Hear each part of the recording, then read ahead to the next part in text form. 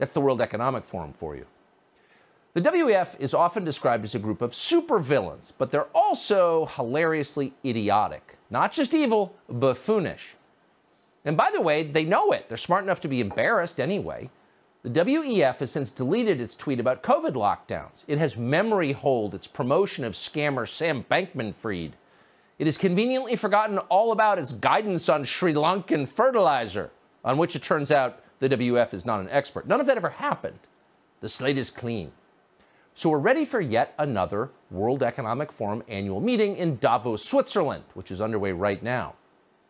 The event kicked off this week with 84 year old Klaus Schwab, he's the founder of the WEF, promising to, quote, master the future. We couldn't meet at a more challenging time.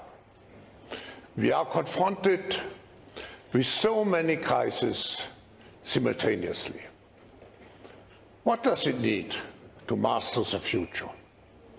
I think to have a platform where all stakeholders of global society are engaged.